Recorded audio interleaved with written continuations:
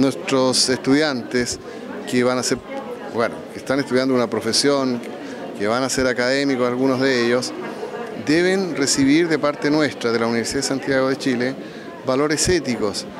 El sello de la universidad, como se dice, debe estar presente. El sello de la universidad es el respeto por la investigación que involucre seres humanos, animales.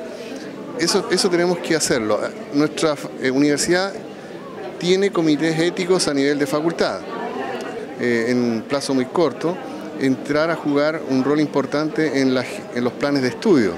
Es decir, yo sé que en muchas eh, mallas curriculares ya existe el tema ético muy presente en forma transversal, no solamente en una asignatura, porque eso no es nada, sino que desde el inicio hasta el final de su carrera.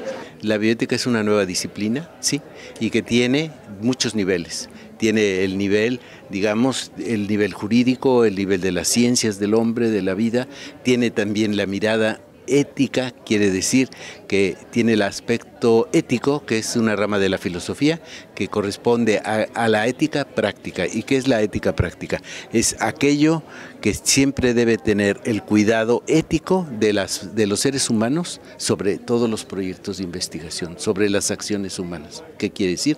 Que, que hay límites y que la mirada de la bioética siempre será a todos los niveles y importante es que es para toda la población. Bueno, en Chile este, la bioética está muy desarrollada realmente en la Universidad Católica, en la Universidad de Chile, en la Universidad de Santiago, en otras universidades.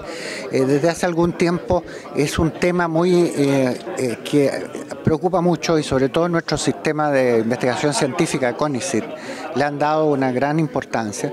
Y yo creo que en ese plano estamos en una etapa ya de contribución, no solamente de repetición e imitación, sino de contribución. Bueno, lo que se espera es que se, se anudan conexiones muy importantes, tanto de conocimiento del trabajo de otras personas como de amistad, que permiten eh, perfeccionar y tal vez comparar cómo son los estados en distintos países. Esa es la principal razón de un Congreso Internacional.